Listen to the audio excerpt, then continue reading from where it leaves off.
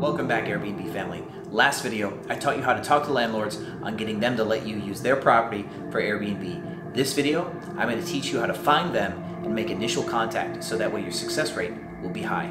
Let's get into it.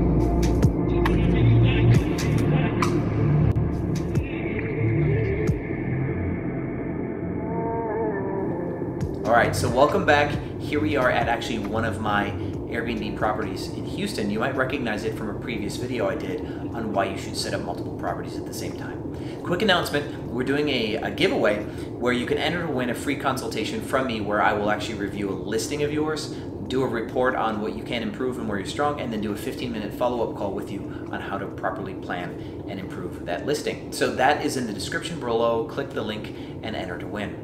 So let's get into the topic, which is finding and contacting landlords. The reason why I want to do this video is because a lot of you have sent me messages or left comments about ideas that you've had for contacting landlords now that you're more confident on that discussion. And there's a couple things that you are thinking of doing that are bad, and I want to address those initially.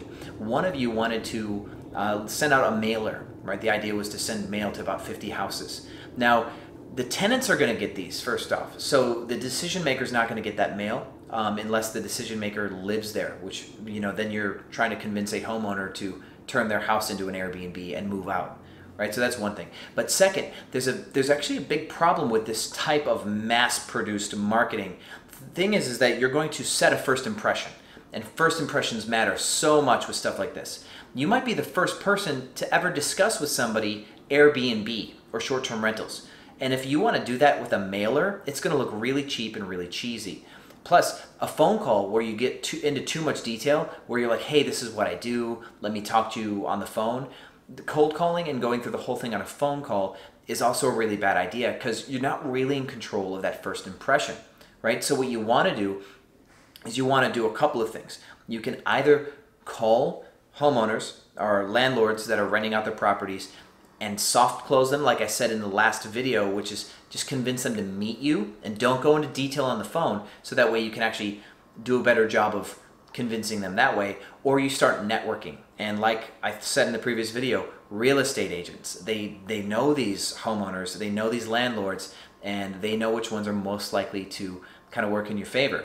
Now, if you're playing the long game, you're going to be networking with many real estate agents, possibly even brokers, and those brokers will help you trickle down into the agents, and you start you're going to start building out this long-term relationship strategy where as people are getting into home ownership for the sake of, you know, making money with rentals, you could be in front of them helping mentor them on good strategies for homeowners to become landlords. And because they look at you as a valuable resource, they'll be open minded to take their first property and give it to you, right? So that's the long game here. The moral of the story on this is that you want to have a quality initial interaction you want to make sure that that initial interaction doesn't leave a bad taste in someone's mouth because not only are you going to screw up your ability to Airbnb at that one property, that landlord is going to talk to other landlords and share his opinion or her opinion. And your brand is not what you tell people your brand is. Your brand is what everybody else says about you when you're not around. That's who you become. So make sure you're in control of that information that you give out. Make sure that every time you're talking about your business, you look crisp, you sound good, you, you look like a high integrity individual, and that you look like you're worth doing business with. So focus on high quality interactions. Don't put out too much too soon. Don't put the cart in front of the horse. Play the long game, build some relationships, and you'll have a decade or two of a rental relationship with a landlord who will give you many properties to come. And one good relationship with somebody who's willing to put millions of dollars down on property is the one you want. So use that information to be successful. If you have any questions, comments, I'll see you on the other side. Thanks for watching Airbnb Automated.